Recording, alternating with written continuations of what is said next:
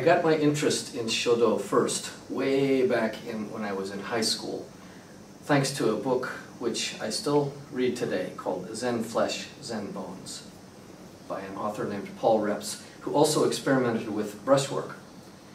What interested me about Zen and the, the short stories and the koans that, they would use for meditation was the way in which they would solve the problem of opposites. You had um, discipline and spontaneity, both at and, not either or, both discipline and spontaneity. Usually treated as totally separate, you have one or the other, but in this case, you need them both, and this was the perfect practical way to study through Shodo. Shodo is a practical way to balance opposites. Opposites such as shapes and space. You also have wet strokes and dry strokes, large and small. And you have calm movement and active movement. The character might look poised in space, it might be seen to be running or dancing. And all of this is an expression of mind, body, and spirit that comes out through your instrument, which is the brush. Shodo is practiced in three phases, very much like learning a musical instrument.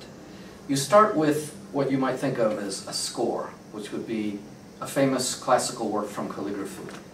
And you take this score and you copy it as precisely as you can. This is extremely difficult, but it teaches you all kinds of skills. And this is, think of this as like practicing a musical score. Then when you actually go to the second phase, it's more like performing a piece of music, where you may or may not have the score hand, at hand, but in fact, you interpret the score. You give it your own personality. You might change some parts of it.